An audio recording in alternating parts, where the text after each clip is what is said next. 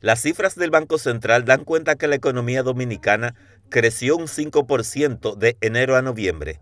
Juan Ariel Jiménez, exministro de Economía, no discute esos datos, pero hace notar que ese crecimiento no se siente. El problema es que la familia dominicana no está sintiendo esa mejoría. ¿Y por qué? Porque el salario real, dígase, el poder de compra de los salarios de, los dominicanos y dominicanas ha retrocedido siete años. El salario real del año 2022 está al nivel del año 2015. Esto usando las mismas cifras del Banco Central. Entonces, por eso, la familia dominicana dice, no siento ese crecimiento. Jiménez sostuvo que el gobierno debe hacer un aumento de sueldos a nivel general y disminuir los impuestos. Y eso de por sí va a dinamizar la economía.